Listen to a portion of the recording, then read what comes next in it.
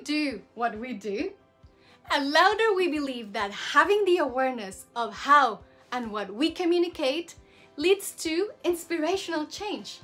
This is why our programs are tailored with care and intention. And we always follow our philosophy of communication with motion, emotion, and impact. We want you to find your unique frequency and value. And this all starts with finding your motion because movement gives you energy and energy makes you feel and feelings will create a meaningful impact that will be remembered by you and others. I'm Yamilette Cano and I am louder.